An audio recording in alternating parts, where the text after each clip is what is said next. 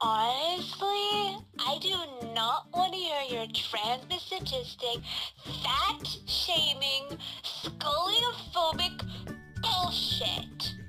Tumblr, are you with me? Stupid fucking.